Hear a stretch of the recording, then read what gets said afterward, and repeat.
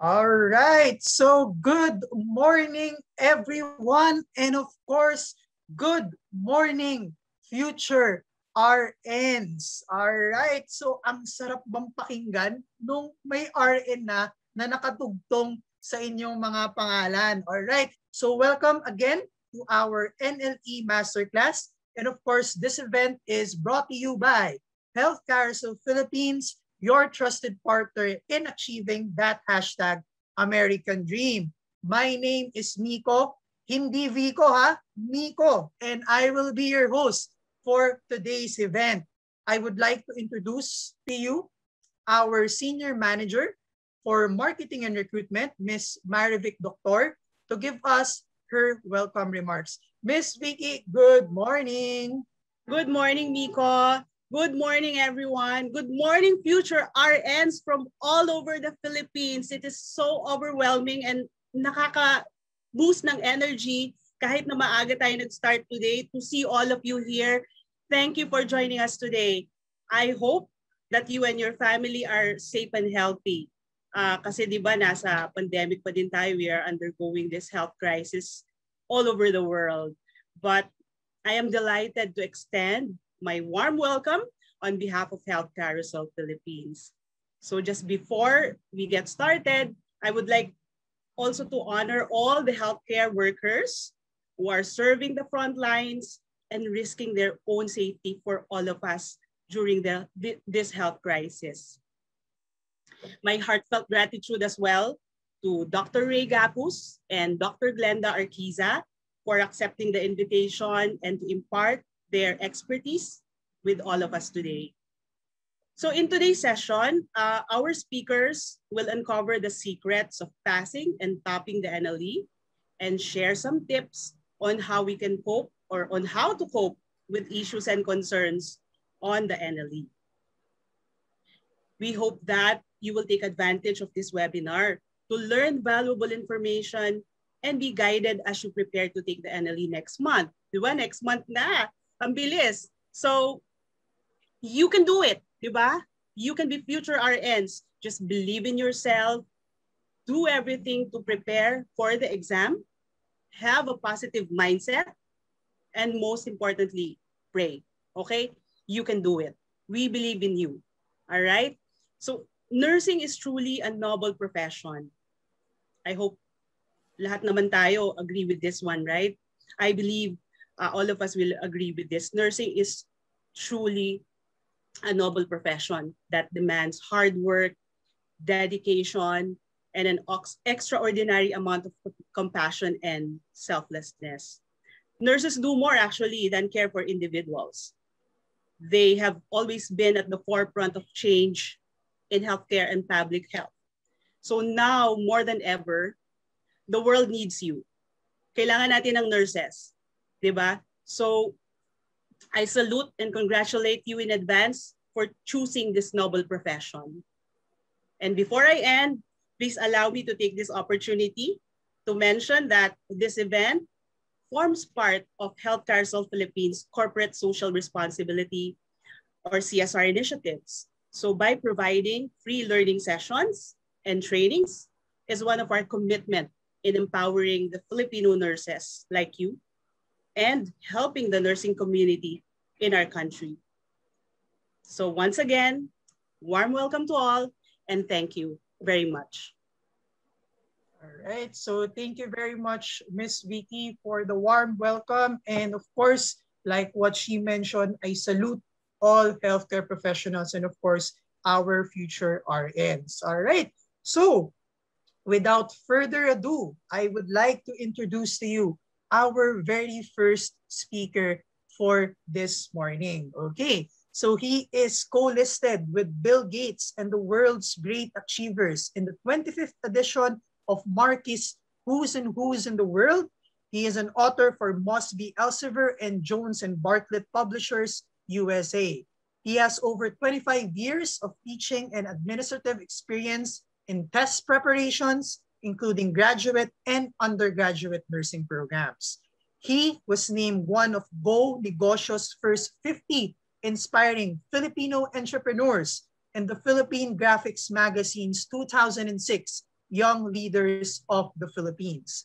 He received the MVP Bossing Award for Education, the Agora Award for Entrepreneurship from the Philippine Market Associ Marketing Association, the SME IT Award for Innovation from the Philippine Internet Commerce Society, the 10 Outstanding Filipino Entrepreneurs from Entrepreneur Magazine, and the Young Market Master for Entrepreneurship from Mansmith and Fielders. He was accepted as a member of the Ernst & Young Entrepreneurship of the Year Academy. Currently, he serves as a trustee of the Philippine Center for Entrepreneurship or PCE. He is a recipient of two doctorate degrees from two state university, universities in the country, the Ramon Magsaysay Technological University and the Pangasinan State University. He finished his Bachelor of Science in Nursing cum laude and Master of Arts in Nursing summa cum laude at the University of Santo Tomas. He was a board top-notcher in the Philippine Nurse Licensure Exam where he obtained a rating of 89.20%. He obtained his post-baccalaureate certificate in e-learning design and Master of Education in Learning and Technology at the Pennsylvania State University, where he finished both courses with a grade point average of 4.0. All right, without further ado, ladies and gentlemen, future RNs, please welcome Dr. Ray A. Gapos. Thank morning, you. Ray. Good morning, Sir Miko. Thank you very much for the very kind and comprehensive introduction. Magandang umaga po sa lahat ng ating RNs to be, sa aking mga katropa dyan sa La Union, mga katropang dugyot. Ito na po ang iyong katropang G, Mentor Ray, your fact check buddy. Please don't forget to pronounce the check mark in between the words fact and buddy so it doesn't, it sounds well. So before anything else, my session for today would be dealing with how to uncover the secrets of passing and topping the board exam. Okay, so today I will address the nagging question and that is, what do I need to study? Ano ba ang kailangang aralin? Hindi ko napapatagalin. Kailangang malaman nyo to step by step. At take note, first set lang to. We will have more of this in our next series of these events. Okay, so let's move on. So, one, 27 days pa bago mag-board exam. So, ganito pa yung reaction nyo. di ba? Ano kaya? Okay? So, pag mga 2 weeks na, ganito na yung next reaction nyo. Okay? Yan, ganyan na yung next reaction nyo. No? Nagiging ganyan na yung next reaction pag 2 weeks na lang. At pag 1 week na lang, di mo pa rin alam ang aralin mo, ayan, ganyan na ang reaction mo. So at this point in time, ayaw natin ng ganyang reaction. Dapat pag may tear ka, tears ka, sorry, tears of joy. Okay? Let me remind everyone. Ah, siguro nakita niyo yung aking scholastic background. Sasabihin niyo siguro gustong-gusto niya yung nursing. Actually, hindi. Okay? Ang nursing ay wala sa top three choices ko. I originally wanted to be a broadcast journalist. O, di ba? Di sana ako yung nagsasabi ng, di ba? kung mahusay ang pagkalap na ebidensya. O, di ba? Mga ganong mga idol natin. Okay, so let's begin. Kaya lang ginawa kong nurse ni Lord and I'm an educator primarily. So let's begin with top 10 concepts that you need to focus on in the nurse licensure exam. Let's begin with the first one. Para tayong nasa deal or no deal, meron tayong briefcase and the bearer of briefcase is I'm a proud mentor of this lady, Melissa Malong, who's the first and only number one top-notcher from De La Salle Medical and Health Sciences Institute. And I'm a proud mentor, of course. Mga naging anak-anakan ko yan. She was never an honor student. She's not a cum laude. I just discovered her potential because she's always in front of me in my class.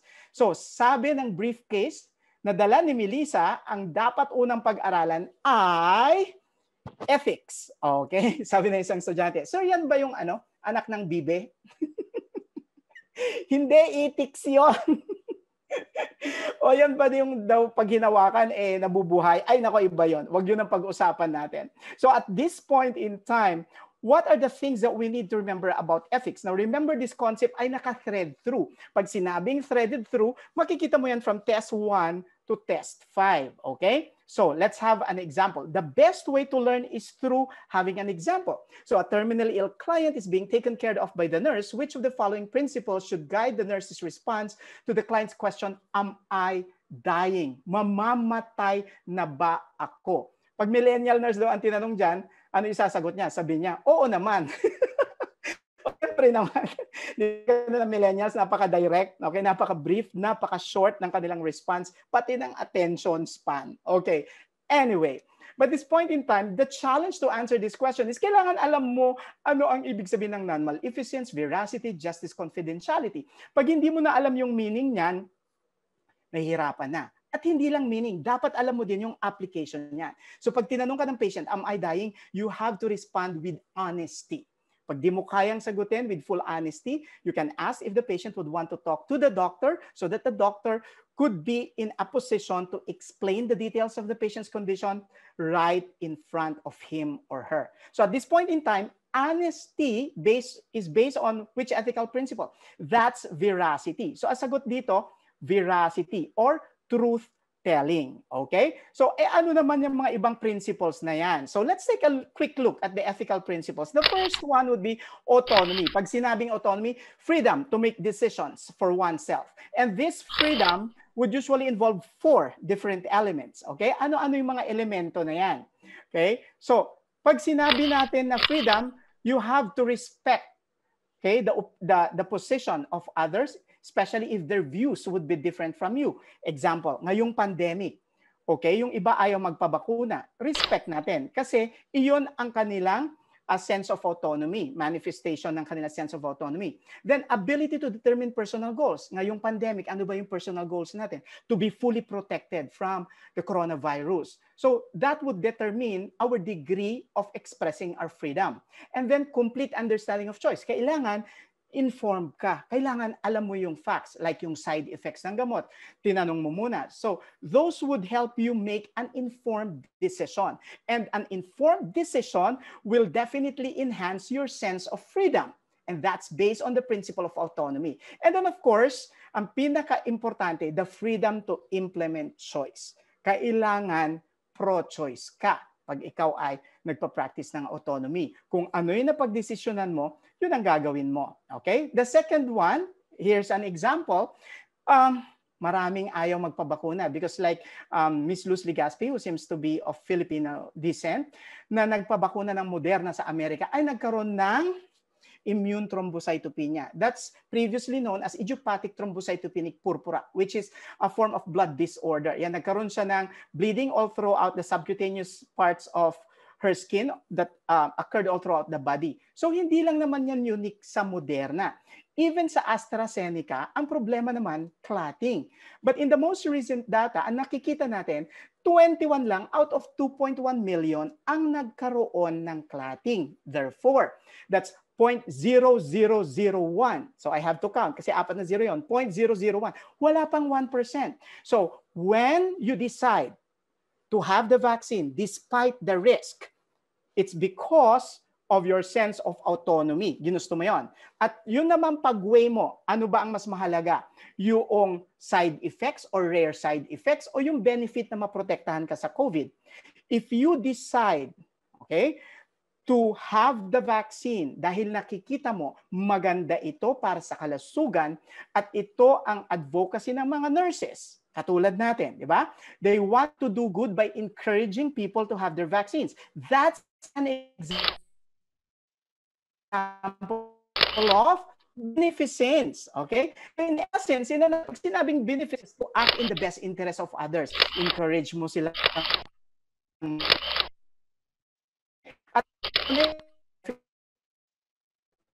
ang unang-una, importante dyan, alam mo,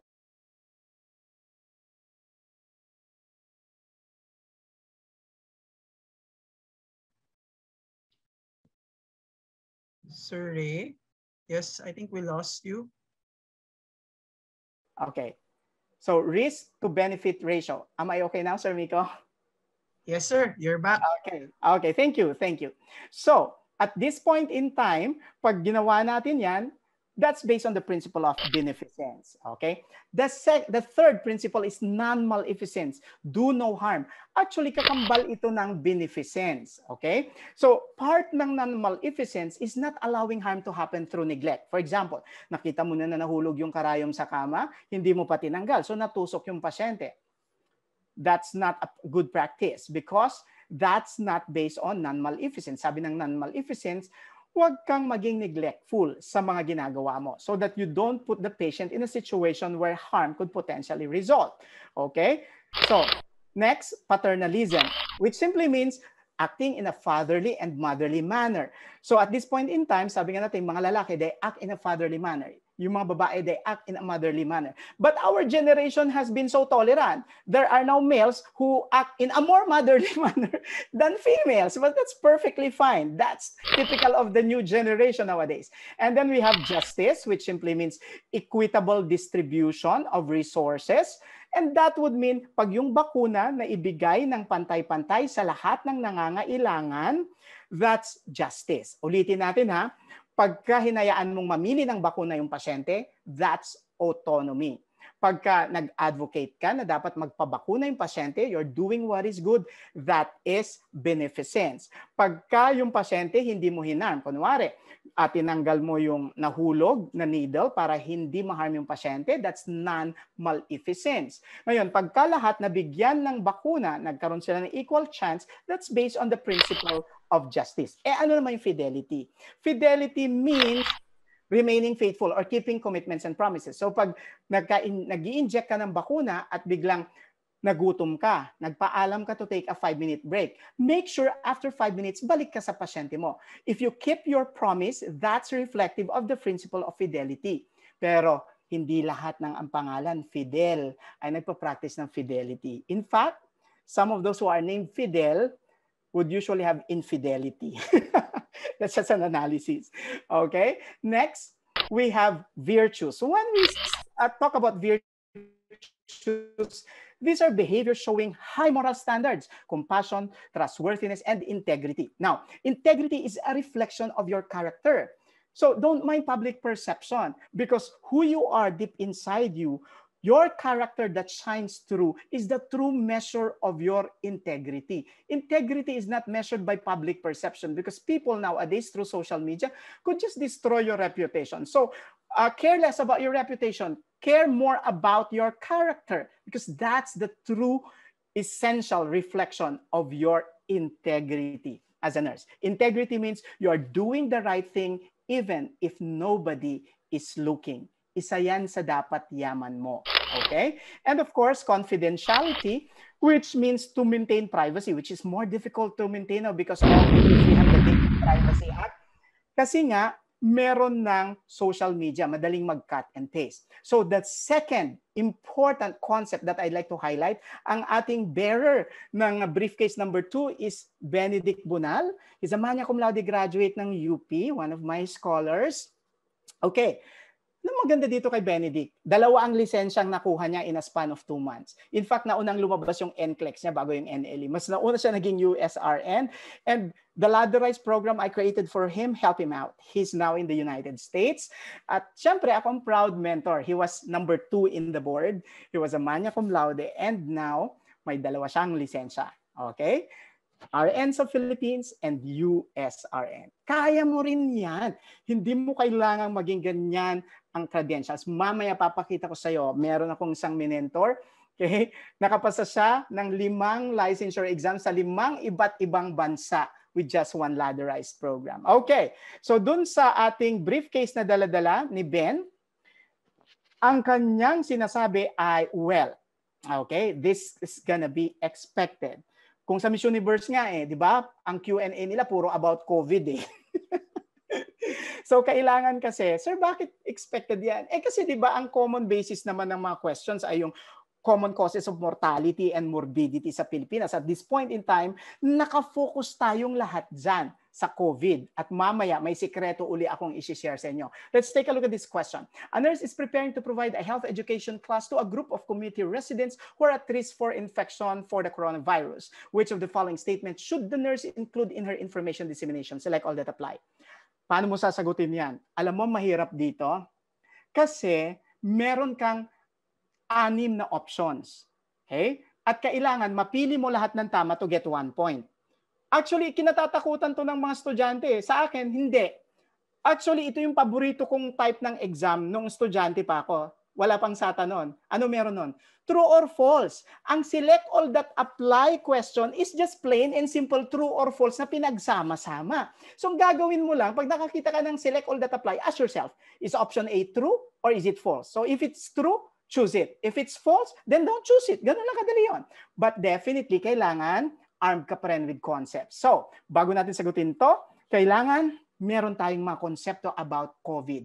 We begin with the case definition according to the World Health Organization.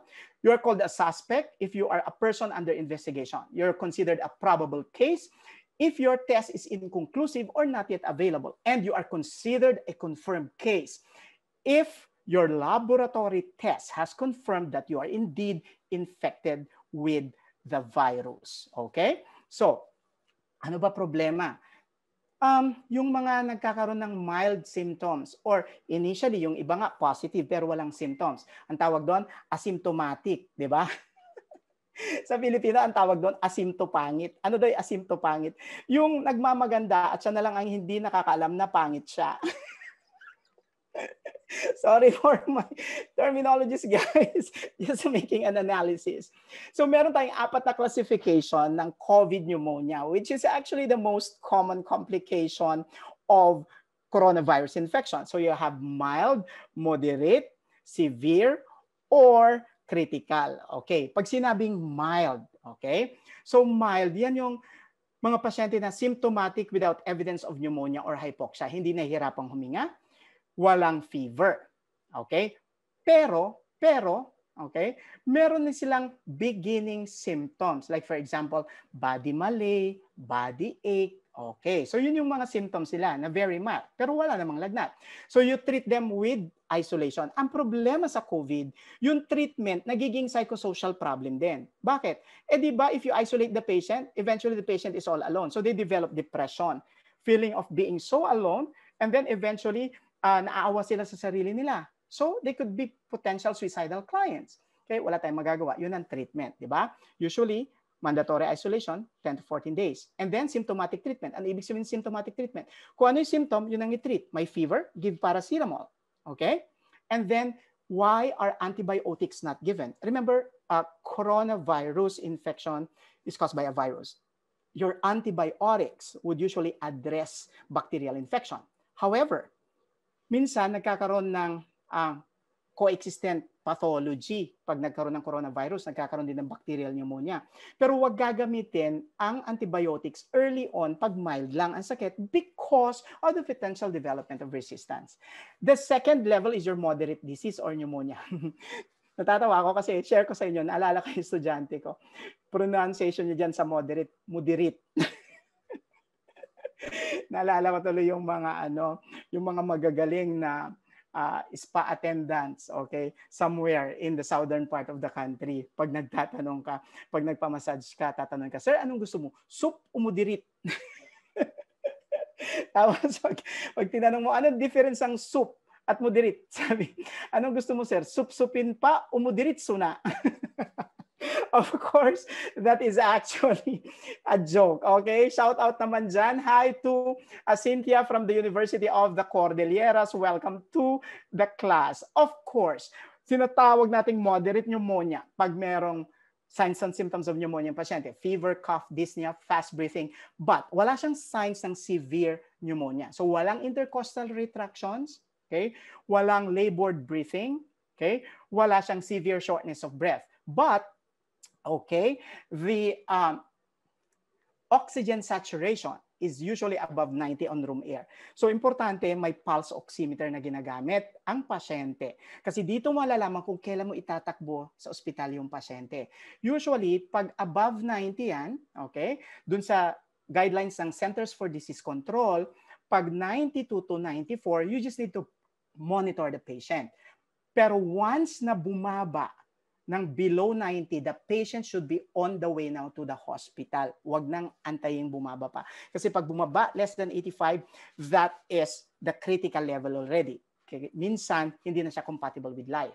So once again, the treatment for moderate would be treat the patient by isolating the patient, symptomatic treatment, monitor, and this time, pag meron ng bacterial infection, administer antibiotics. Pag severe pneumonia, okay, merong fever, cough, dyspnea, fast breathing, and any one of this, merong respiratory rate na more than 30, then severe respiratory distress, characterized by intercostal retraction, severe shortness of breath, and then the patient would have an oxygen saturation below 90 on room air. At this point in time, ang treatment should be immediate administration of oxygen.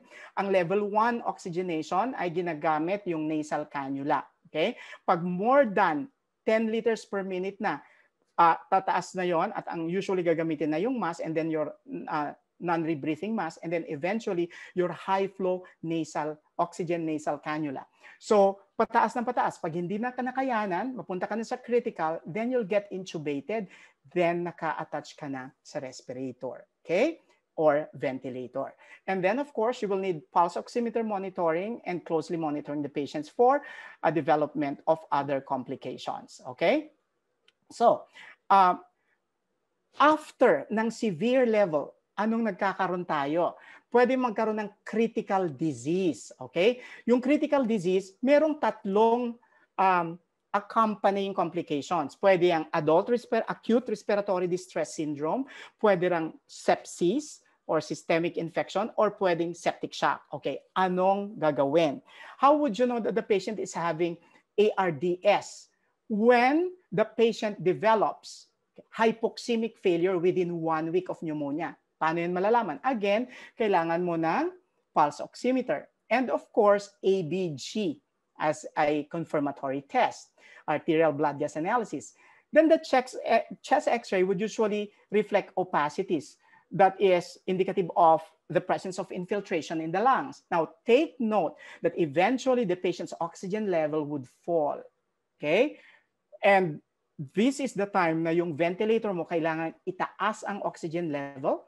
Okay? So, minsan 40 liters per minute para ma-achieve mo yung above 95 oxygen saturation, which is considered as normal. So, at this point in time, you'll have invasive mechanical ventilation, meaning naka-attach siya sa respirator machine or sa ventilator ang pasyente. Then, pwede rin magkaroon ng critical uh, disease na sepsis ang complication, in which case, what happens? There's gonna be multiple organ dysfunction characterized by decreased level of consciousness, decreased heart, uh, increased heart rate, low oxygen saturation, decreased urine output, then acidosis and hyperbilirubinemia or jaundice. So pag nanilaw yung pasyente, pwedeng it's because of COVID sepsis. Okay? The treatment would definitely be administration of oxygen and fluids.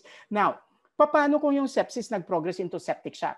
Now, the mark of a septic shock would be persistent hypotension. Sobrang baba ng blood pressure despite volume resuscitation.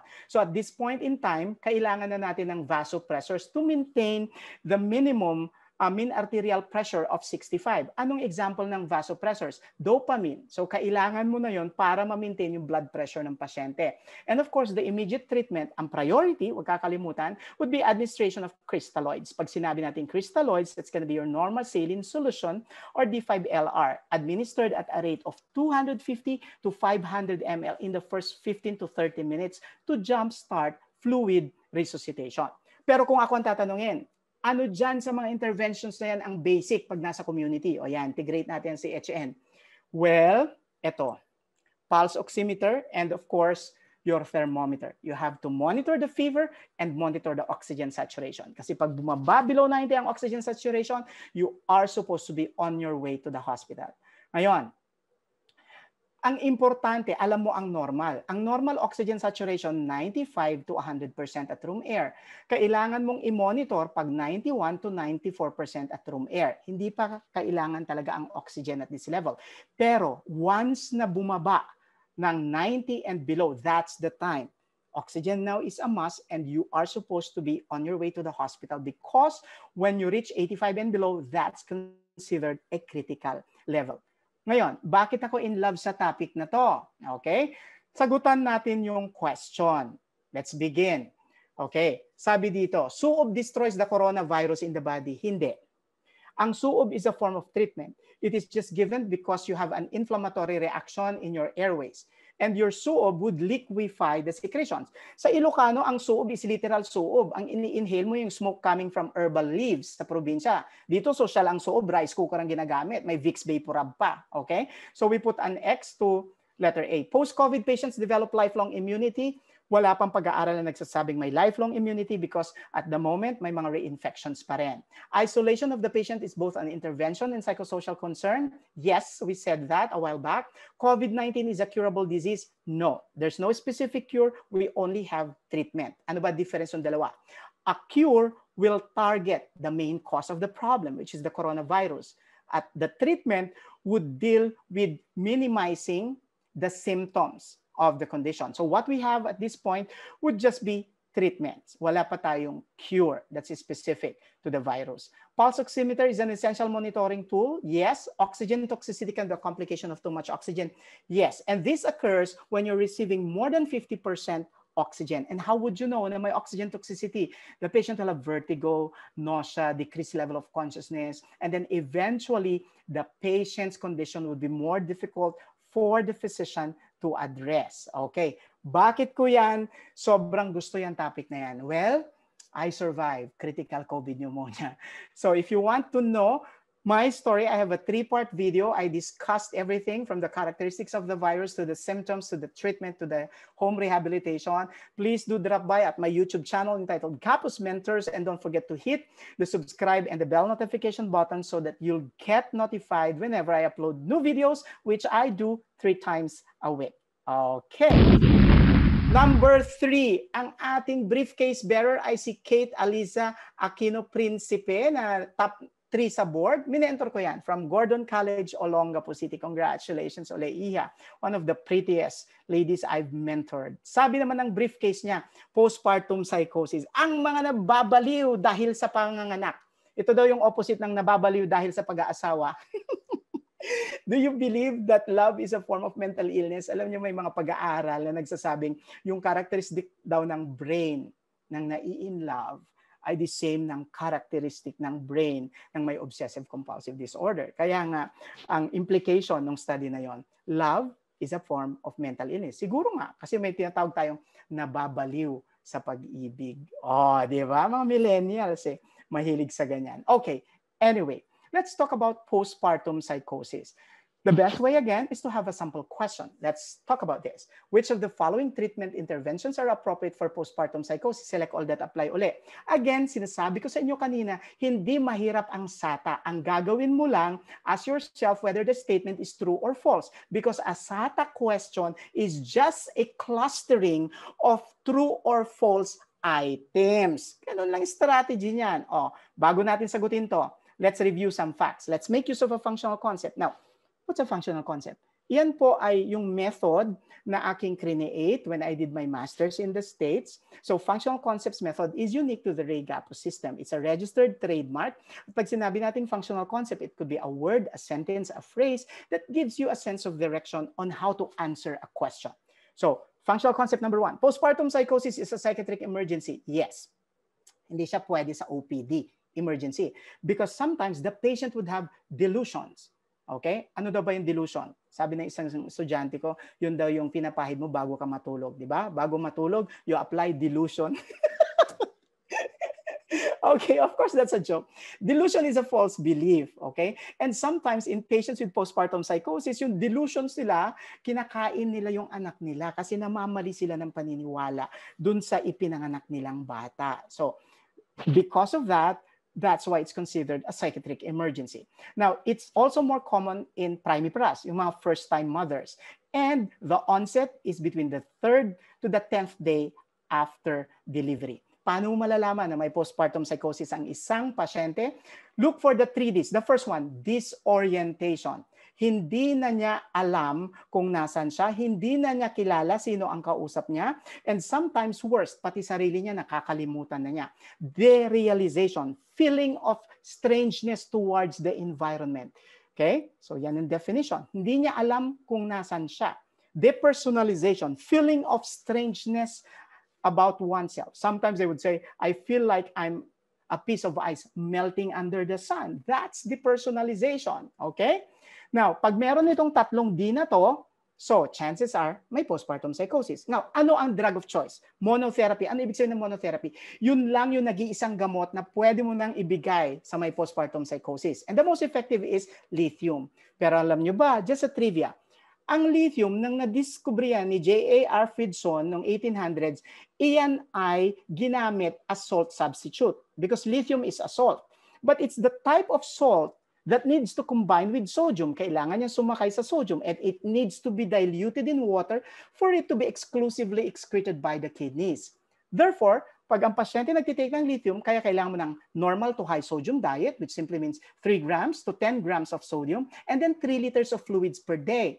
Okay. Ngayon, ang lithium ay accidental lang na nakita na meron pala siyang effect sa bipolar disorder. So ginamit na siya ngayong treatment for mania. Okay? So ginamit na rin na monotherapy for postpartum psychosis. Okay. Bakit ba nagkakaroon ng postpartum psychosis? Well, ayon sa mga pag-aaral, ang number one risk factor ay family history of bipolar disorder. Kaya nga lithium ang a monotherapy drug of choice or previous psychotic episode. These are the most significant risk factor to postpartum psychosis. So ang tanong, pwede ba sir magbigay ngayon ng ano, antipsychotic pag nakita na may history? Ups, pag hindi nagmanifest ang psychosis ang pasyente, never tayo nagbibigay ng psych antipsychotic as a form of prophylaxis or prevention, di ba? It's always a treatment when the patient is already manifesting a symptom. So anong mga manifestations ng postpartum psychosis? Suicidal thoughts, okay? Minsan nakikita natin na yung pasyente gusto magpakamatay. Ops, lahat ng suicidal indicators, kay thoughts, kay statements, kay actions, you have to take it seriously. Huwag mo sasabihin niya, hindi tutuloy yan. No, no, no, no, no. The basic principle for suicide is you have to treat them seriously. And the most at risk suicidal patients are the elderly. According to research, one out of every two or 50% of those who attempt suicides who are 60 years old and above eventually become successful in their first attempt. So pag pinapili ka sa board exam, which of the following clients is most at risk? Hanapin mo lang yung elderly. Mm, dumadali, di ba? Next, hallucinations. Okay, false sensory perception in the absence of real external stimuli. May naririnig na wala namang dapat. May nakikita na wala namang dapat. Na itong symptom na ito, aminin na natin, no estudyante tayo, pinaglalaroan natin. Okay? The moment we see a patient with schizophrenia as diagnosis, ang unang tanong natin, may naririnig ka bang mga boses? O, oh, di ba? Yung pasyente sasagot naman, meron yung boses mo. well, I enjoy following up students at the National Center for Mental Health when I was still a clinical instructor, okay, at UST. So at this point in time, ano naman yung agitation? Agitation means anxiety with restlessness. Okay? So yung agitated patients, lakad ng lakad bakit? Anong problema sa agitation? Anxiety. E ano ba yung anxiety? Is that a condition? Is that a, a treatable psychosocial concern? Di ba yung anxiety, yun yung reaction ng mga kasambahay pag na-receive yung kanilang uh, uh, sweldo ng maaga, di ba? Ang sayate, ang sayate. That's just a joke, of course. And then rapidly changing mood. The patient would change from being brightly, okay, interested to one who is anhedonic. Anhedonia means lack of interest in pleasurable things including sex. So kung ang boyfriend mo o girlfriend mo hindi mahilig sa sex, may anhedonia. Anhedonia is typical of schizophrenia. Kaya wag kang makipagrelasyon sa may tendency mag-schizophrenic. Otherwise, hindi niya ma-appreciate ang mga gusto niyong gawin. And then E, erratic and unusual behavior. Okay. So all of this now characterized your postpartum psychosis. Balikan natin ngayon tanong. I-apply natin na pag-aralan natin. Select all that apply. Outpatient treatment, sabi natin kanina, di ba hindi? Psychiatric emergency. So we put an X. That's a false statement. Prophylaxis with antipsychotics for the first pregnancy. Sabi natin, hindi natin ginagamit ang antipsychotic as a prophylactic treatment. Okay? Pag may symptoms, saka binibigay. Okay. That's false. So that's also an X Electroconvulsive therapy. Now, electroconvulsive therapy is effective for mood disorder. So may mood disorder ba sa postpartum psychosis? Meron. So we put a check. Lithium carbonate, yes. Risperidone is an atypical antipsychotic which is given to minimize delusions and hallucinations in patients with psychosis. So it's a check. And so the answers are CDE. Okay. Now, Number four, ang bearer ng ating briefcase number four, ang aking mga favorite na mentor. So we have my first back-to-back number one in the board, Faith Rotagenes from University of Santo Tomas and Melissa Malong from De La Salle. Magkasunod na number one. And then of course, Benedict Bunal and of course, Alex. Okay, ang apat na yan, mga bright students. Okay?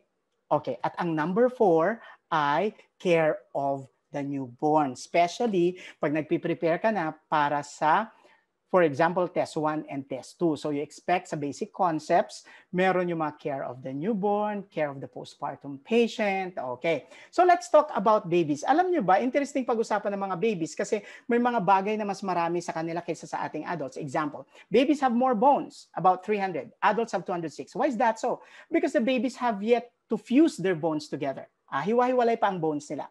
Kaya mas marami ang bilang. Okay? Pero mas matibay ang bones ng mga adult. Pero hindi yan pag-uusapan natin ngayon. Pag-uusapan natin, saan ba nanggagaling ang physical and psychological characteristic ng newborn? Uh, galing yan sa mga magulang. 50% galing sa nanay, 50% galing sa tatay. So for example, si Brad Pitt at si Jessica Alba magpakasal.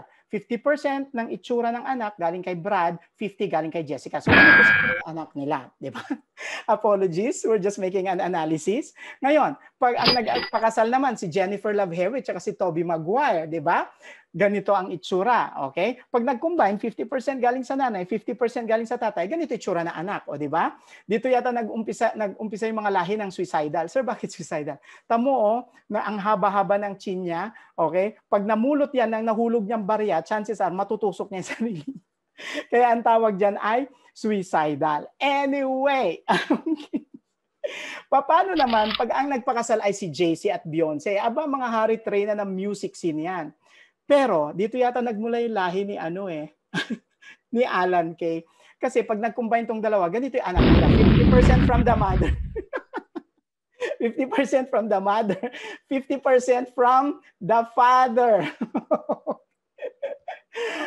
How are you guys? Are you are you enjoying at this point? Okay, time. Shout out daw to Desiree RN 2022 ang kanyang peg. And of course, so to Mariela Montaner. Ayan naman nagsha-shout out shout out tayo in between. Okay. Yes, sabi nila yes po. Okay. Lahat ng mga tinatakal ko ngayon nandoon sa PDF file. Bibigay sa inyo yan or naibigay na, check your email please. Sabi ko nga, dito sa mga sessions na to, hindi kami madamot. Antayin nyo pa yung marami naming sessions, you'll get more materials from us. Okay, let's move on. Okay? let's try answering a sample question. Ito na. After the delivery of a newborn, the highest priority of the nurse is to a. Suction the mouth with a bulb syringe. B. Suction the nose with a bulb syringe. C. Wipe off secretions from the mouth and nose. D. Put the baby on the mother's abdomen. O sige nga, i-type nyo nga kung ano sagot nyo dito. Tignan ko nga kung tama kayo. Sige, i-type nyo sa ating uh, chat box. Okay. So, marami, okay, ah, nagta-type, tapos ang sagot, okay, put on the baby on the mother's abdomen. Yung iba, marami din ang A, marami din ang B. Okay. Lalo na yung produkto ng henerasyon ko. Yung produkto ng henerasyon ko. Pinag-aawayan yung A tsaka B. Di ba? Kasi nung una, ano ba una isa suction, mouth or nose? Nag-create pa ng code, M-A-N, mouth and nose. So mauna ang mouth. Okay. Pero tignan natin kung yun nga ang tamang sagot. O, di ba? Walang unifying answer eh. O, iba-iba kayo. Pinili nyo naman lahat ng letra eh. Nakakatuwa naman itong mga to. Sige, si Annalyn, si Ian, si Jericho, si Christine, si Mitzi. Iba-iba yung sagot. okay? Depende daw sa yakap. Ano ba yan? Unang yakap. Okay, now take note class. Kailan mo gagamitin yung konsepto ng unang yakap? Kung yung tanong ay base doon sa programa or nasa konteksto ka ng CHN. Pero kung nasa konteksto ka ng clinical practice, ayan, hospital-based. Kailangan evidence-based ang iyong sagot. Okay. Sabi ng guidelines from the Neonatal Resuscitation Program NRP recommends against oronasopharyngeal suctioning with above syringe after birth. So ayaw nang ipasuction after birth ang mouth and nose. So yung nagsagot ng AEB, sorry. Yung akala mo sigurado kang tama, sigurado mali, o wag na kayo mag-away. Di ba? Ba't naging ganun, sir? Kasi nagbabago ang practice. Bakit? Kasi evidence suggests that suctioning can stimulate the vagus nerve, which can lead to bradycardia. So, more harm pag sinasuction natin ng bata. But bakit kasi pinapangialaman? May natural clearing ability ang mga bata. Okay? Para nila maklear ang kanilang airway passages. Tayo lang ang nagmamarunong na nag-valve syringe at nagsasuction. Okay? Now, harmful pala yan, sabi ng evidence. Therefore, there was no difference in the respiratory rate between those that have suctioning and those that have mere wiping of the mouth and the nose within the first 24 hours of birth. Therefore, pag tinanong ka, balik tayo sa question na yon, ano ngayon ang tamang sagot? Hindi na suction the mouth, hindi na suction the nose, wipe off secretions from the mouth and nose. Congratulations sa mga sumagot ng letter C, Princess Ian Dave, Nicole, Jeanette, okay, and dami-dami. O, CC, Mary Ann, okay. O, di ba? Jennifer, Maybelline, congratulations, William, lahat kayo. O, tama daw sila. Yay, pang board top na ka. Halika na, mentor kita para maging number one. Okay? So, let's move on. So, ang sagot therefore is letter C. They're learning. O, di ba nakita niyo yung mga minentor ko na puro cum laude, magna cum laude, class valedictorian. Ito estudyante, ordinary student. Isang program lang, lima ang ipinasa. Pumasa na NCLEX RNC, GFNS, Prometric Saudi, Prometric Qatar, Saudi Council Test. Saan ka pa? And this lady, Roslyn Ann Victorino, okay, always updates me on Viber. Sir, nakapasa na naman ako, ginamit ko yung notes mo. Ginamit ko yung tinuro mo sa akin. Okay? So, briefcase number five contains this information. Okay? Ano kaya ang kailangang pag-aralan? Briefcase number five, breast cancer. Eto na. Huwag niyong kakalimutan yung mga oncology conditions, lalo na sa test 3 and test 4. Okay? Somebody actually asked me, Sir, is frequent fondling of the breast a risk factor to breast cancer? Sabi, yun daw bang uh, paghawak ng suso na frequent ay nakakakos ng breast cancer? Okay. Minsan nakakasakit yon. Pero actually, mas nasasaktan ka pa nga kung ang pinaglalaroan hindi yung breast pero yung puso mo, 'di ba? Mga lalaki, 'di ba? Kaya nga yung kaibigan ko ang motto, sinasabi niya sa mga lalaki, huwag paglalaroan ang puso ng babae kasi isa lang 'yan. Pero ang suso daw pwede kasi dalawa naman. of course, that's just a joke. motto, motto for the day daw. Oy, wag, wag niyo i-adapt 'yon. Okay, now to answer the question.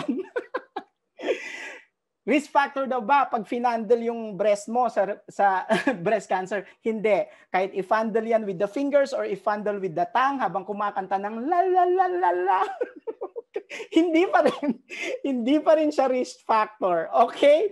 So, wag mong sabihin na dahil fina-fundle yung breast mo kaya ka nagka-cancer. So, let's talk about breast cancer as a condition. So, we begin with an update. Now, according to the American Cancer Society, dati circular lang yung movement ng pag uh, perform ng self-breast exam. Ngayon, nagkaroon na ng wedge um, style at meron na rin tayong top to bottom style. Oh, masaya yung mga nasa LGBT top to bottom.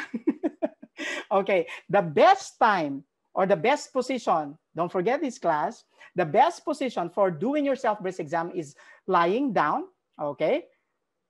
And putting a pillow underneath the area to be examined. Parang yan nasa picture. The second would be, you can do this while standing in front of the mirror with the arms on the hips, Okay? But you never perform self-breast exam while seated. Why is that so? It's less accurate, especially for patients who are obese. Because sometimes for obese patients, the breast becomes continuous with the abdomen. Hindi mo alam kung ang nakakapa mo ay breast o abdominal fat, di ba? O umami na tayo. yung mga nagmumukha ng butanding kasi hindi na po nagda-diet. tawa ng tawa sila Mirzan, tsaka sila Nuranya. Hala, sige, Rona, okay. Nakaka-identify kayo? O mas maganda na yan, di ba? At least, pagka masyado malaki ang breast, may ipagmamalaki. Kumbaga, may future. O, eh paano pag yung wala?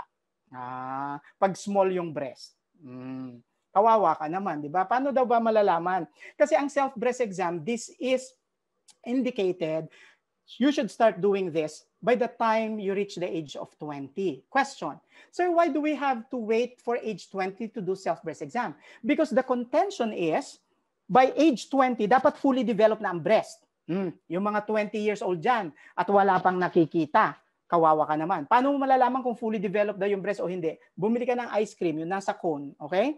Dilaan mo, ha? Pag tumulo yung ice cream, dumiretso sa paa mo. Ibig sabihin, walang sumalo. Ikaw ay miyembro ng Tabla Incorporated, babaeng flat sa harap, flat sa likod. Kawawa naman ang boyfriend mo. Walang makapa sa wing palad. oh, okay. uh, di ba? okay, huwag na nga yan ang pag-usapan natin. Okay, balik tayo sa self-breast exam. Okay? Miyembro ng Tabla Incorporated. Okay. So anyway, pag pinag-usapan natin ang self-breast exam, let's have a sample question. The best time to perform self-breast examination for premenopausal and postmenopausal women is which of the following times?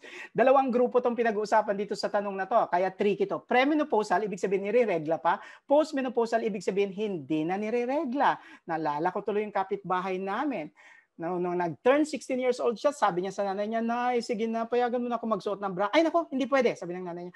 Nay, 16 years old na ako eh, payagan mo na ako magsuot ng bra. Sabi ng nanay, Boyet, tumigil ka? Kaya pala ayaw payagan magsuot ng bra ay boy pala siya. Okay, now, pag pinag-usapan ang self-breast exam, one of the most common concept that's being asked, pero misinterpreted, ay kailan mo gagawin ang self-breast exam? O, naging select all that apply. Dati isang multiple choice question lang yan. Paano pag ginawang select all that apply? Let's call in functional concepts. Patulong tayo. Okay, the first functional concept. The best time to do breast self-exam is a week after your monthly period. Pay particular attention to the keyword after. So, kung natapos yung menstruation mo at day 7, doon ka sa day 7, mag-count ng one week. Okay? Kasi ang, ang keyword is after your monthly period. Okay? Ngayon, the best time to do breast self-exam is two weeks after the start of your month, monthly period. Ano naman tong version na to? Kung ang ginamit mo ay start of your monthly period, count two weeks. So kung ang ginamit mong pamantayan ng pagbibilang ay yung umpisa ng pagre-regla. Kunwari, April 1 ka nag-umpisa ni regla. O, kailan ka magbe-breast self-exam? Two weeks after that. Pero, kung ang ginawa mong pamantayan ay yung pagtatapos ng pagre-regla, kailan natapos ang pagre-regla? Kunwari, April 7. O from April 7, one week lang ang bibilangin. Okay? So, here's the code. Pagka ang pinag-uusapan is a week after your monthly period, one week lang ang bibilangin. Pagka ang ginamit mong parameter ay two weeks, uh, uh, ang ginamit mong parameter ay the start of your monthly period, count two weeks. Okay? If it's the end of your monthly period, count one week. If it's the start of your monthly period, count two weeks. Ano yung purpose ng duration na yan, ng one week, ng two weeks na yan? Because by that time, it is believed that the hormones are already decreased. Therefore, the breasts are less tender, juicy, tasty, no? are less tender, so it would be easier for you to palpate. So let's go back to the question now. Okay, tinatanong, kailan daw mag-self-breast exam? Ang premenopausal, postmenopausal. Seven days from the onset of menstruation, mali ito. Kasi pag ang, ang ginamit mo onset, meaning the beginning of menstruation, dapat 14 days. So we put an X. Okay. Seven days after menstruation, yes, tama yan. Kasi after menstruation, pitong araw. Pag ang una, ang ginamit mo ay umpisa ng menstruation, labing apat na araw. So we put a check. Two weeks after the start of menstruation, yes, we put a check. Okay, tama si Roslyn, pero kulang yung sagot mo, Roslyn. Tatandaan mo, meron kang postmenopausal woman. Hindi na nireregla. Pag hindi na nireregla, gagami, gagawa pa rin siya ng self-breast exam. Pero papiliin mo siya ng isang araw kung kailan niya dapat gawin yun. Ayan. Okay, so tama at a fixed chosen day of the month. As frequently as possible, no. Okay. So, yan ang sagot. B, C, and D. Dumadali pag may functional concept. O ito, balik natin. What if ang tinanong lang premenopausal? Okay, yung nire-regla lang. Kailan ang best? A week after the start of menstruation, mali. Kasi ang ginamit mo is start, dapat two weeks yan. Two weeks after the start of menstruation, yes. Okay? Itong letter D at a specified day of the month, para yan sa postmenopausal yan. Okay? Postmenopausal yan. Eh, ang meron tayo, premenopausal. Nire-regla pa. Yung letter D, para sa hindi na nire-regla. Okay, Aileen?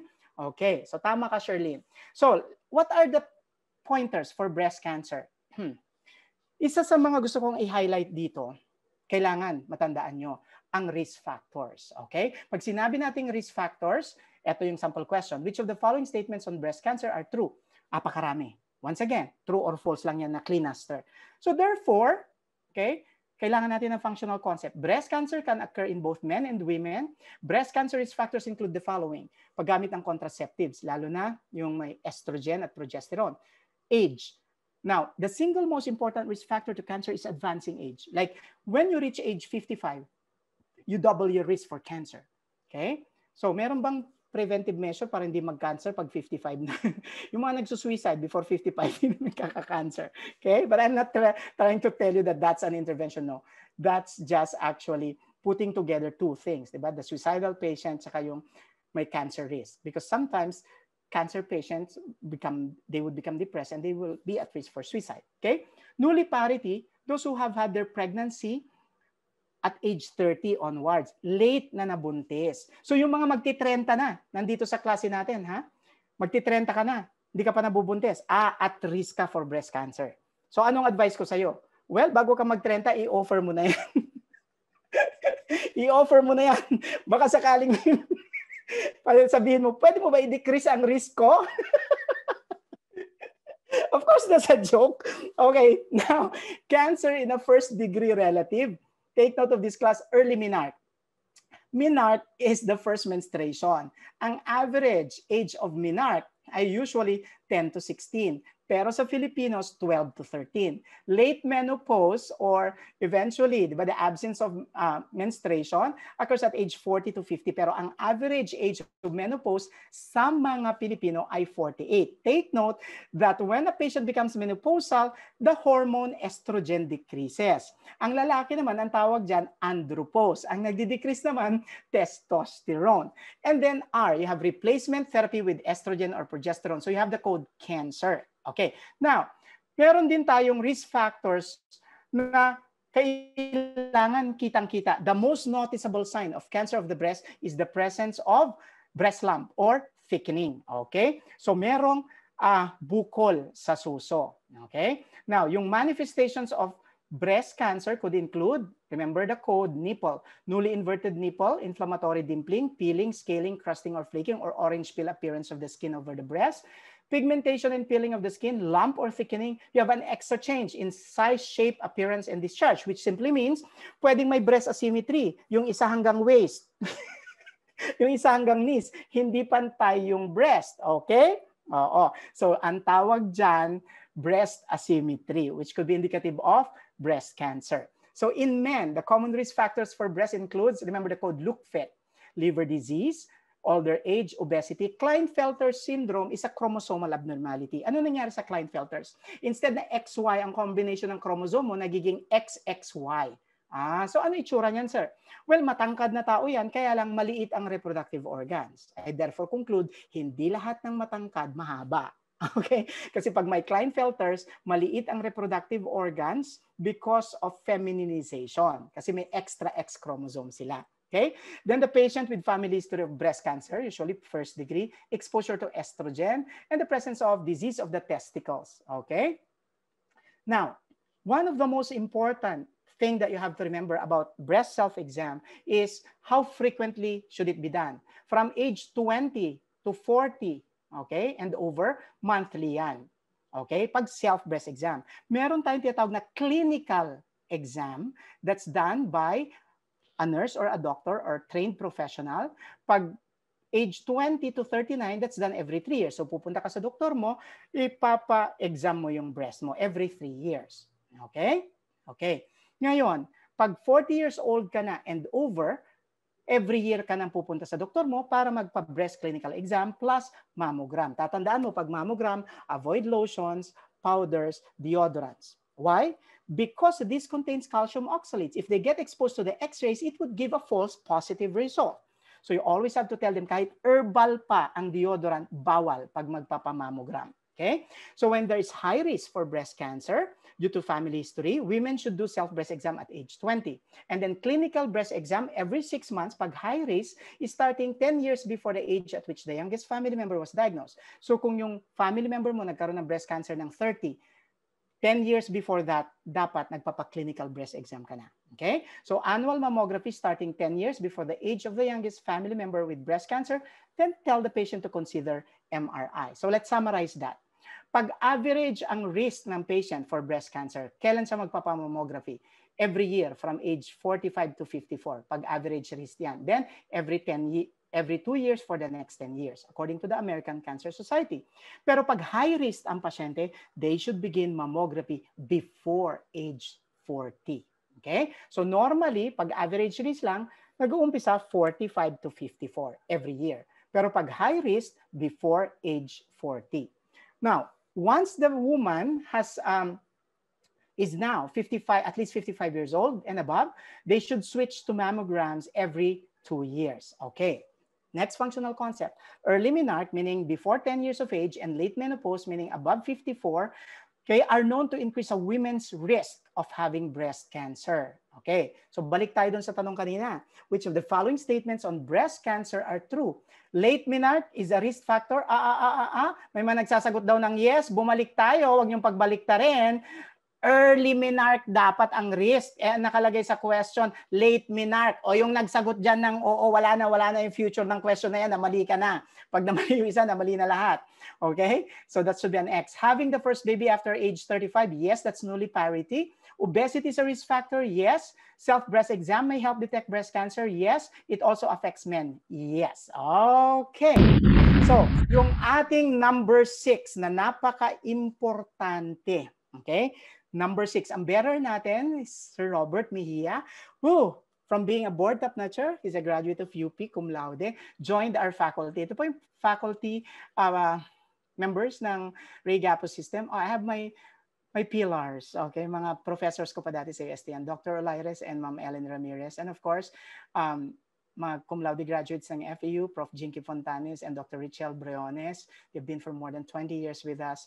And of course, okay, yung ating mga junior lecturers like Prof. Jem. Oh, Ma'am Dang is our faculty consultant. He's a graduate of UP, okay, a board top notcher of the nurse licensure exams. So yan yung aming team, okay? So, briefcase number six, Ayan, neurocognitive disorders. Ano yung common problem nito? Wandering. Ano yung wandering? Um, these patients, pag sinabing wandering, naglalakad, tapos eventually nag, may loss of memory. Uh, restlessness, and then eventually they develop amnesia. So lakad ng lakad hanggang sa hindi na nila alam na saan sila. Okay, that's the main problem pag may neurocognitive disorders. Whether the patient will have Alzheimer's or Creutzfeldt-Jacobs disease, okay, meron silang wandering. So anyone who is ambulatory and with memory problems is at risk for wandering. Therefore, what are the three things or problems that you need to address? communication because they have a tendency to have perseveration, paulit-ulit na sinasabi. Caution them related to safety issues. Dapat ang kwarto ng may mga cognitive impairment Okay? Bawal yung well-lit. Dim-lit dapat. Kasi pag well-lit, they're sensitive to glare. It increases their risk for falls. Okay? So ang kulay dapat ng bumbilya sa kwarto niyan, either red or yellow.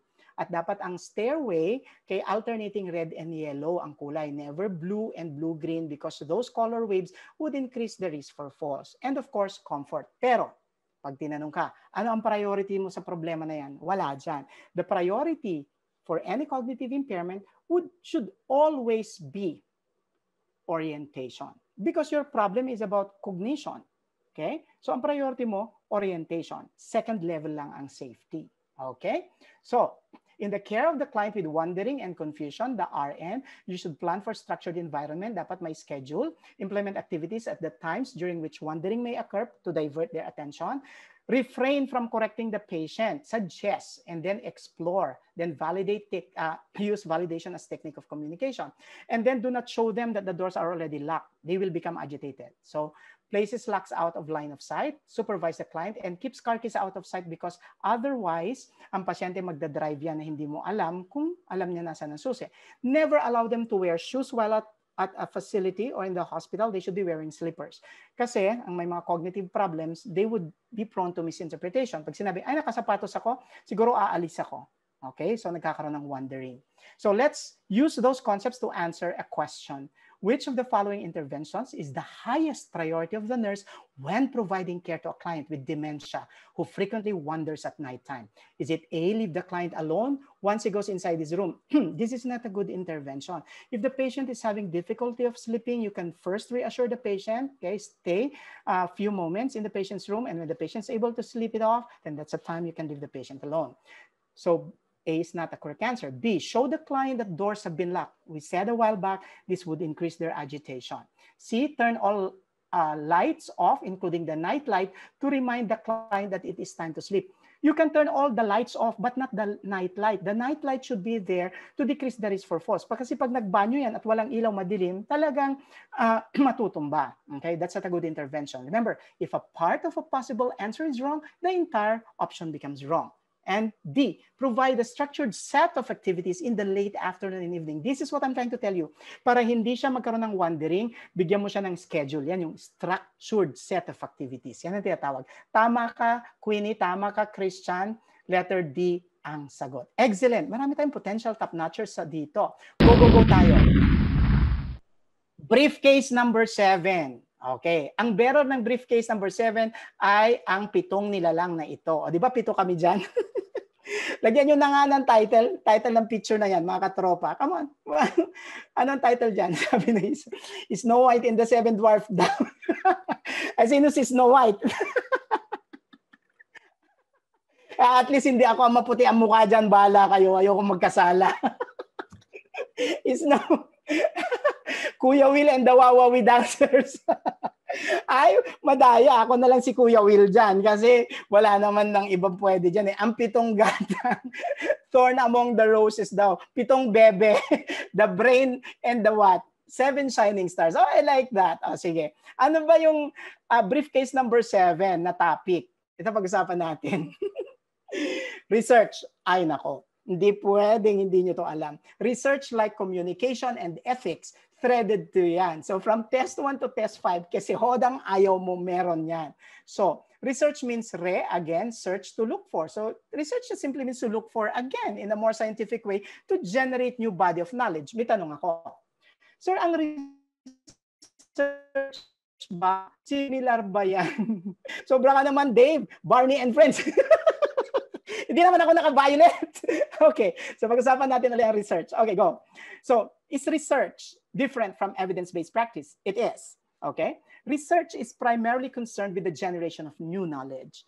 When you say evidence-based practice, it is concerned with the application of knowledge generated from research into clinical decision-making skills. Ah, nag-generate yung research in apply ni evidence-based practice. But take note, research is just one of the three components of evidence-based practice. Kasi yung tatlong core components ng evidence-based practice, okay, clinical expertise of the nurse, latest research findings, and client preference. So kasama ang nurse at kasama ang client if you talk about evidence-based practice. Therefore, paano pag may ganito kang tanong? Which of the following statements about nursing research are true? Okay, A, the first nurse, researcher is Florence Nightingale. That's correct. The first nursing research journal was published in 50, 1952. That's correct. Its primary goal is to develop unique knowledge that's unique to nursing. Yes.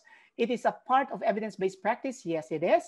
Nightingale's first research focused on nursing practice. Hindi. Nightingale's first research focused on nursing education. So that's an X. Oh, kaya pag may ganyan, nakala mo diretso tama, wag mong dinedire-diretsong tama lahat. Okay? So you have to know what nursing research is. So you have to define it. So it's a scientific process that validates and refines existing knowledge and generates new knowledge that directly influence nursing practice. Then most studies focus on nurses and usually most knowledge used by nurses were developed by other disciplines. Okay? Hi, Basnan. Okay, yung slides, may copy kayo ng slides na to, nasa PDF file. It will be sent to you. Don't worry. Okay? Lahat yan complete.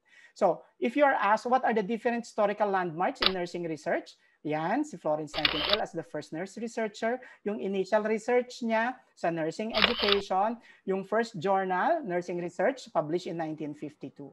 Okay? So, and the clinical nursing research expanded in the 70s. Okay.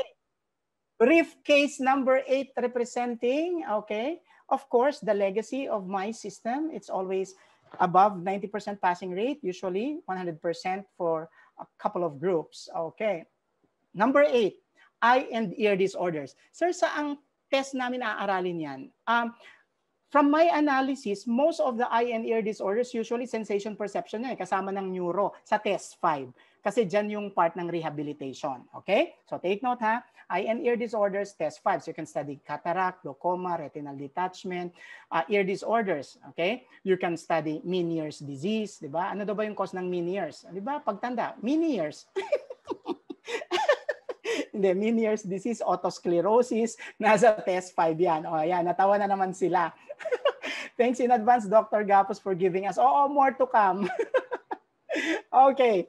So, let me just give you an example. Sir, paano namin aaralin? Yan usually ang problema ng mga Gen Z tsaka mga millennials eh. Alam yung aaralin, hindi alam paano aaralin. O ganito yan. Pag nag-aral kayo ng disorders, you have to go through all the facts that will empower you to explain it to your client. Ah, hindi pwedeng mas marami alam yung pasyente kaysa sa'yo. Example, you begin with a definition. Vision loss refers to partial or complete loss of vision. Then, you have to know what intervention should be implemented associated with that problem. So placing things in front of a client with loss of vision may enable them to utilize their light perception, color perception, or form perception. Therefore, pwede mong ilagay sa harap pala ng may visual problem yung binibigay mong object. Oo, kasi naaaninag naman nila yon eh. Hindi nawawala yung ability nilang maaninag. Okay, using that concept now to answer a question. Let's use it. Which of the following interventions is most appropriate when providing care to a client with macular detachment? Macula pertains to a part of the eye. Okay, that's responsible for central vision. So pag nagkaroon ng macular detachment, you lose your central vision. So ang problema ng macular detachment, may problema ka sa sense of sight. Okay, dapat ang intervention mo related sa sense of sight. A, use communication board. Communication board is used for patients with, for example, expressive aphasia, yung may tumor sa frontal lobe, may CVA affected ang frontal lobe. Yun yun. Uh, macular detachment is not about the use of communication board. B, allow the client to lip read. Again, this is due to a patient with impaired hearing, nagli-lip read. So that's not associated with vision loss, associated macular detachment. Again, letter B is incorrect. C, place things in front of the client while giving instructions about how foods are placed on the plate. We can consider technique, technique, look, mahaba, longest. Pero hindi ko sinasabi na yan ang gagawin sa board exam ha, na maghanap ng mahaba. Tapos yung mahaba, pinili mo na, 30 minutes, tapos ka na. Tapos sasabihin mo, ba't ang bilis mo naman? Naganap ako ng mahaba. Huwag mong gagawin yon. Huwag mong kinakahon yung mga strategies na tinuturo natin. Remember, these are the secrets I developed in my more than 25 years na nakatutok sa nurse licensure exam. Kaya wala po akong ginawang pastime kundi mag-take ng exams at ipasa. O di ba masarap sa pakiramdam? D, limit questions to those that can only be answered with a yes or no. Letter D is an intervention for a patient with expressive aphasia. When you talk of expressive aphasia, this is common among clients, okay, with disturbance in the Broca's motor speech area located in the frontal lobe. Such is the case in patients with stroke in which the frontal lobe is affected. So letter D is about expressive aphasia. It's not about macular detachment. So the answer therefore is letter C. Yan. So bukod sa mga ganyan, ano pa ba ang pag-aaralan? Matuto ka rin mag-compare and contrast. Like for example, in age-related macular degeneration, macular detachment, and retinal detachment, loss of vision occurs. So sa tatlong sakit na ito, ano yung common problem? Dapat matutunan mo yan. So loss of vision. Ngayon, lahat ba ng macular disease common lang sa elderly? Hindi. Sabi ng functional concept natin, there is a form of a disease called Stargardt disease that occurs in children and adults. So it's a form of macular degeneration in children and adults. Okay? Now, there are three parts of the eyes. Usually kasi tumatagal kayo mag-aral, inaaral niyo yung buong anatomy and physiology. Hindi ganoon. Okay? Kasi part and parcel lang ng exam ang anatomy. Huwag kayong mag-ubos ng oras sa anatomy. Katulad nito, nag-aaral tayo about eye disorders. Pag-aralan mo lang yung part ng eyes na affected sa sakit. For example, pag retinal detachment, ano ba affected? Retina. Diba? It contains photoreceptors, rods, and cones. Nasaan ba ang retina ito? Yan. Lining the back and sides of the eyes. Ayan, retina. Okay? Then, pag-aralan mo din ang macula. Ano ba yung macula? It's a, it's a pigmented area near the center of the retina. O, ayan yan. It's an oval-shaped pigmented area near the center of the retina. That's your macula. So, ito ang affected sa macular degeneration tsaka age-related macular degeneration. O, punta pa tayo ng detalye. Inside the macula, you have your fovea. Ang tawag nga dyan, fovea centralis. It's a depression or pit within the macula and it provides the greatest visual acuity. So pag nagkaroon ka ng macular detachment, ito yung naaapektuhan, the fovea. Kaya nagkakaroon ka ng loss of central vision. Yun ang difference. Pag retinal detachment, loss of peripheral vision. Kasi nasa gilid ng mata. Pag macular problems, it could be macular detachment or age-related macular degeneration, loss of central vision. Ah, pero ang outstanding risk factor niyan, common yan sa mga elderly, mga tumatanda. Nagkakaroon talaga ng maraming sakit pag matanda. So therefore, if we think about loss of vision, think about retinal detachment and macular detachment and how these two would differ. Sabi nga natin, pag retinal detachment, detachment, loss of peripheral vision, macular detachment, loss of central vision. Pero pareho ng symptoms yan. Visual floaters. The patient would say, I see floating spots in front of my eyes. I see cobwebs in, in front of my eyes. I see veil-like structures in front of my eyes. Those are descriptions of visual floaters. Then the patient would also have blurred vision. Okay? And take note, pareho din ng risk factor yan. Mas maaga nga lang ang retinal detachment. Ang onset, 50 years old and above. Macular detachment, above 60. And in both conditions, if one eye is affected, the other eye may also be at risk. Okay? Although, pag retinal detachment, you have additional risk factors like family history of eye disorders and cataract surgery. Okay? Ngayon, paano kung yung macula lang ang affected? May dalawang condition na common. Age-related macular degeneration due to aging and macular detachment which could, which could be associated with aging and trauma. Okay? So in both conditions, macula ang affected. Tinignan natin kanina yung macula nasa gitna, di ba? Kaya loss of central vision. So here, intact ang peripheral vision. Ang may problema, yung central vision. Sir, paano namin malalaman yon? Okay, ganito yan. Kung nakaharap sa iyo yung pasyente at ang dinidescribe lang niya, ang ganda ng hikaw mo, ang ganda ng buhok mo, ang ganda ng tenga mo, wala siyang masabi tungkol sa mata mo, sa ilong mo, sa lips, it's because hindi niya nakikita yung gitna ng muka. Ah, that's loss of central vision. Hmm. Oh, yung loss of peripheral vision, nakikita niya ang ganda ng mata mo, ang ganda ng ilong mo. Hindi niya ma-describe yung tenga mo, hindi niya ma-describe yung buhok mo kasi may loss of peripheral vision. Pero ibang klase na, ibang kaso naman 'yon pag wala ka talagang buhok. wala talagang madidescribe sa'yo, di ba? So yung mga nawawalan ng buhok, huwag kayong malungkot. Kasi bukod tanging kayo lang ang may nagagawa na hindi nagagawa ng may buhok. So ano yon? Aba, yung mga kalbo, yun lang ang bukod tanging kahit nakayuko, taas noo.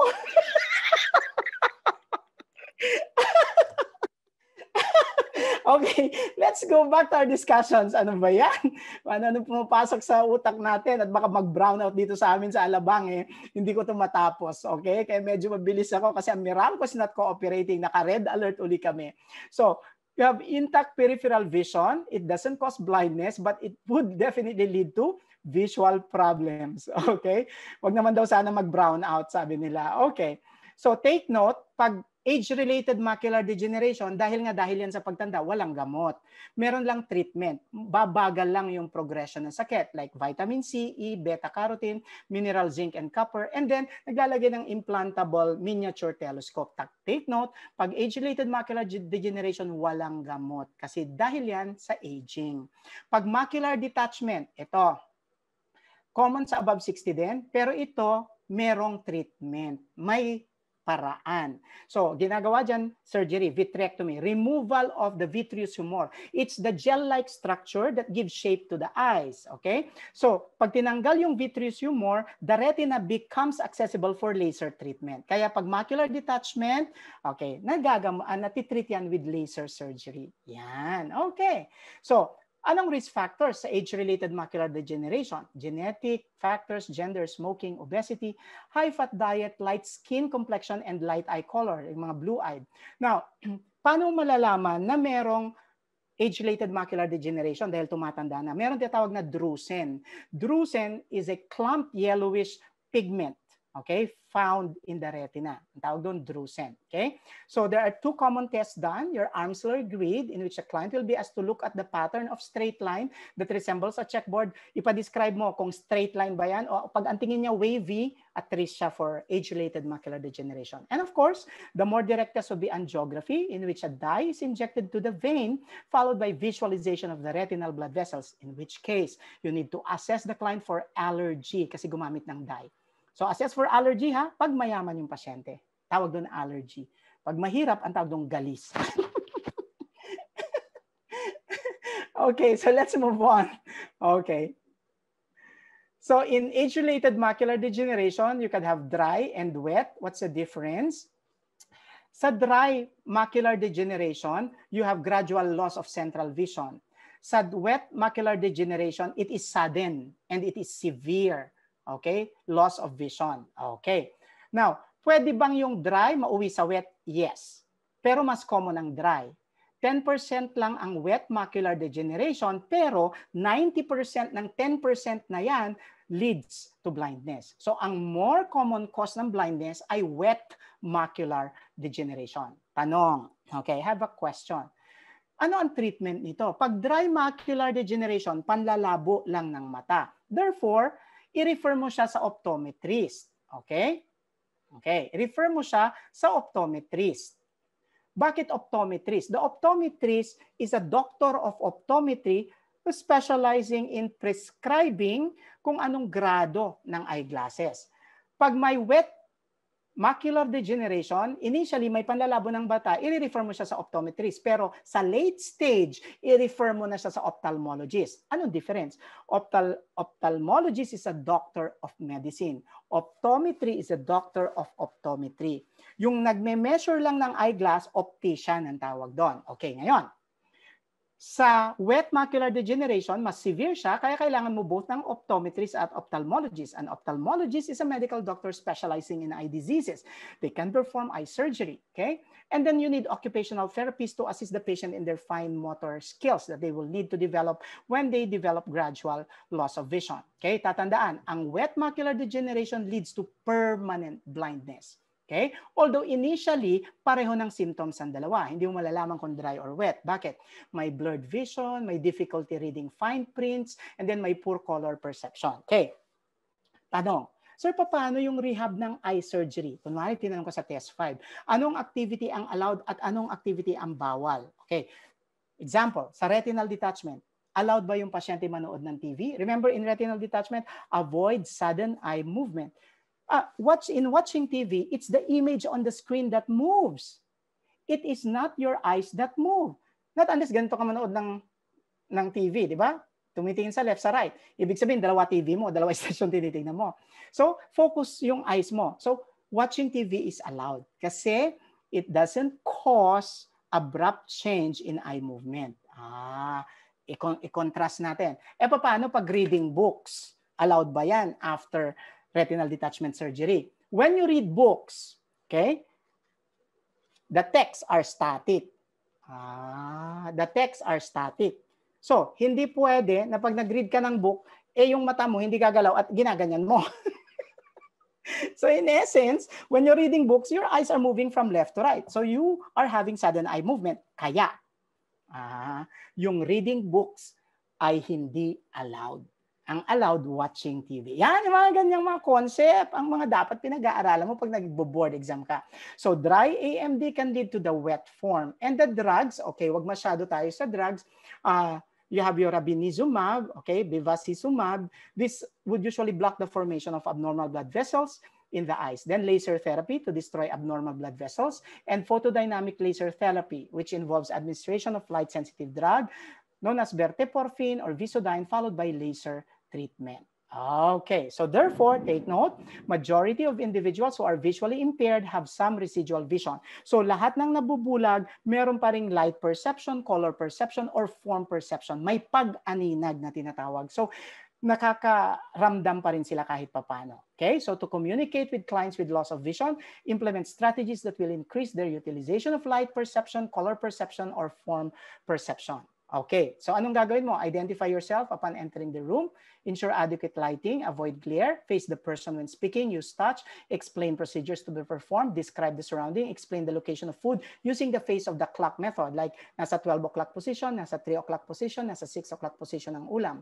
Then provide recorded or large print books, music, braille materials, or other materials, then inform the client when they are leaving the room. When ambulating, take note, so you ambulate side by side, you walk ahead of the patient, but you allow the patient to hold on your uh, upper arm, okay? And provide verbal cues for doors like my pinto, okay? my furniture or any obstacles along the way. So using those concepts now, which of the interventions can the nurse delegate to the nursing assistant when providing care to a client with visual impairment? Okay, select all that apply. Providing assistance in feeding the client, yes. Gagamit ka ng clock position. Okay. Obtaining routine vital signs, yes. Okay. Assist in ambulating the client, yes. Repositioning the client on bed, yes. And obtaining urine from the client's indwelling catheter. Remember, when you talk of delegation, alin ang pwedeng iutos. You do not delegate assessment, teaching, evaluation, any part of the nursing process, and you do not delegate sterile procedures. Yung pagkuha ng urine from the indwelling catheter is a sterile procedure. You do not delegate that. So that's an X. Ayan. Do not delegate ATES. Assessment, teaching, evaluation, and sterile procedure. Okay, concept number nine. Okay, well, this reminds me of pangarap ko lang yan dati, maging author ng MOSB. And I've been blessed to be the first Filipino to have authored a nursing review book from the world's number one publisher. At eventually, yung librong sinulat ko nanalo sa International Book Awards. Okay? Napakaraming blessing. Okay? Pero this book is now undergoing revision. Okay? Uh, the new edition will come out anytime soon. Okay? So, briefcase number nine, negligence versus malpractice. Huwag kakalimutan to. Okay? Either test 1 or test 5 concept. So what's the difference? Negligence is an act of omission or commission. May ginawa ka na hindi mo dapat gawin or may hindi ka ginawa na dapat mong gawin. Okay? And this is usually a violation committed by person with ordinary prudence. Yung ordinaryong mamamayan. Okay? Malpractice, okay, is professional negligence. What does this mean? It's a violation committed by a person with professional duty. Okay, Let me explain. Here's an example. Kunwari may pasyente nag uminom ng antihypertensive. Uminom siya ng antihypertensive, nakalimutan niyang ibalik yung side rails niya into an up position. Pumasok ang janitor. Okay? Hindi naman tinignan ng janitor kasi ang focus ng janitor ay paglilinis. Nahulog yung pasyente sa kama. Okay? So, ano ang kaso doon? Bilang human, bilang tao, dapat tumulong yung janitor. Kaso nga lang, hindi niya nagawa. So there's an act of omission. Pero dahil wala namang duty yung janitor na saang mag-raise ng side rails, the case is negligence. It is committed by a person with ordinary prudence, ordinaryong mamamayan. Okay? Paano nagiging malpractice? Pag ikaw ay professional. So that's professional negligence. Okay? So you are duty bound professionally to provide, okay, or to, to provide safe care to the patient. So kung ang pumasok doon sa kwarto ay yung nurse at siya ang hindi nakagawa ng pagtaas ng side rails, then ang cause, ang, ang case, malpractice. However, pwede pa rin namang idemanda ng pasyente ang nurse ng negligence. Okay, let's let's identify the four elements of negligence. Pag nagdemanda ka ng negligence, kailangan ma-prove mo yung duty, breach of duty, causation, and damages. Example, here's a question. A client filed a case against a nurse for negligence. So the client alleged that instead of her maintenance antihypertensive, the nurse wrongly administered vitamin C. To rectify the error, the nurse administered the antihypertensive medication as soon as the error has been detected. The client did not suffer from any untoward reaction. The nurse won the case due to the absence of which element of negligence? Due yan sa ano ang hindi na fulfill? May duty ba yung nurse? Meron. May breach of duty? Meron. May hindi siya nagawa, di ba?